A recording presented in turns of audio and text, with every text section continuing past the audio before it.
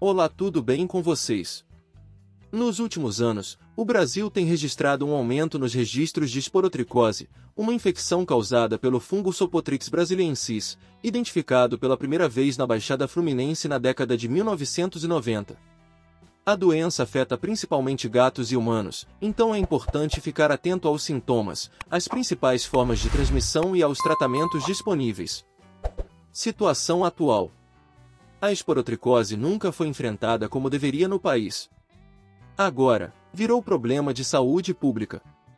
Só na cidade do Rio de Janeiro, os casos cresceram 162% nos últimos 10 anos. Na região metropolitana de Porto Alegre, o salto foi de 500% em 3 anos. Em São Paulo, mais de 2,7 mil gatos e 405 pessoas se infectaram em 2023, 33% a mais do que em 2022. Sem vacina, o jeito é evitar contato com animais feridos e tratá-los rapidamente, afirma Flávio Teles, coordenador do Comitê de Micologia da Sociedade Brasileira de Infectologia, SBI. O que é a esporotricose?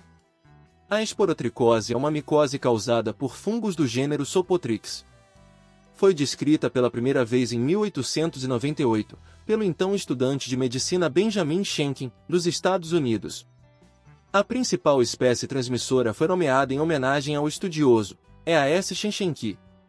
No nosso país, a S. brasiliensis é responsável pela maioria dos casos, e tem se disseminado pela América do Sul. Esses fungos podem ser encontrados no solo e em materiais em decomposição, infectando animais e humanos que entram em contato e se ferem com espinhos, lascas de madeira, galhos, folhas e palhas. A esporotricose é classificada como uma micose subcutânea ou de implantação, ou seja, é transmitida por lesões na pele e em tecidos subcutâneos, que são também os mais afetados, explica o infectologista. Os fungos Sopotrix vivem no solo e podem ser transmitidos a animais e humanos que entram em contato com plantas e materiais infectados. Felinos, roedores, bovinos e equinos são os mais contagiados dessa forma. Entre humanos, profissionais da agricultura, jardinagem, floricultura, marcenaria, cestaria e afins estão em maior risco de contrair a doença. Por isso, a esporotricose também é conhecida como doença da roseira ou doença do jardineiro. Essa via de transmissão é chamada sapronótica. A maioria dos casos, porém, é transmitida de forma zoonótica, isto é, de um animal infectado a outro. Os gatos são as principais vítimas da enfermidade e têm uma posição central na cadeia de transmissão, podendo infectar outros felinos, cães e humanos. O fungo se espalha entre animais por arranhões, mordidas e contato com feridas em brigas e caças. Cães e humanos podem ser infectados, mas não são transmissores da doença. Eles não passam a outros animais nem a outras pessoas, ressalta Teles. Sintomas de esporotricose.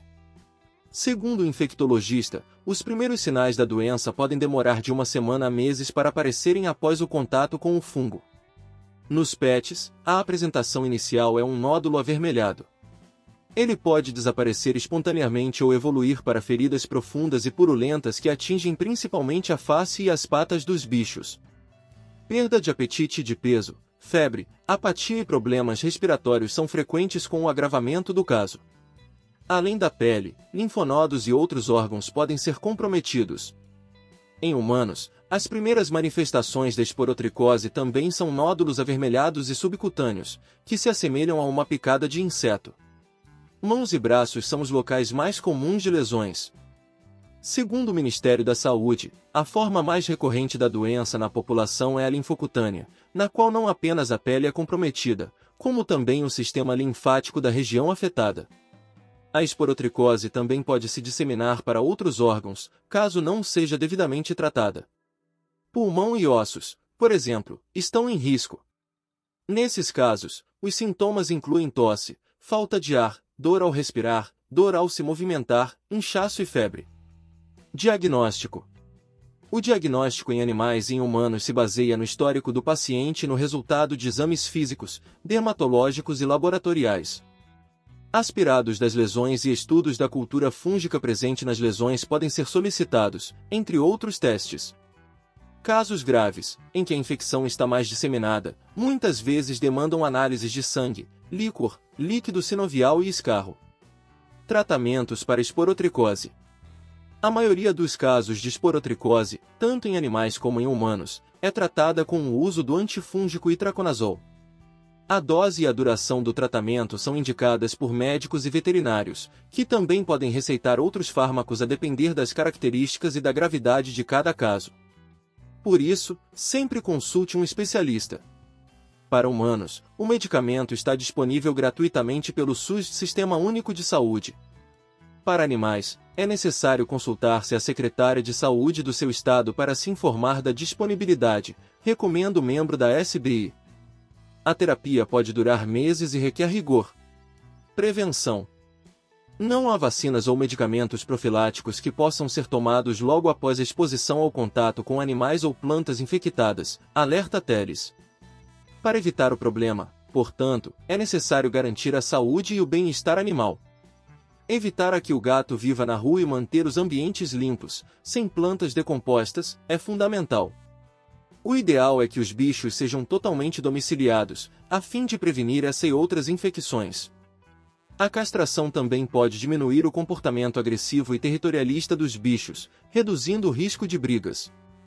Médicos veterinários, voluntários de proteção animal e tutores devem utilizar equipamentos de proteção individual, EP, como luvas, óculos, máscaras e aventais, ao lidar com animais feridos em tratamento, ressalta o infectologista.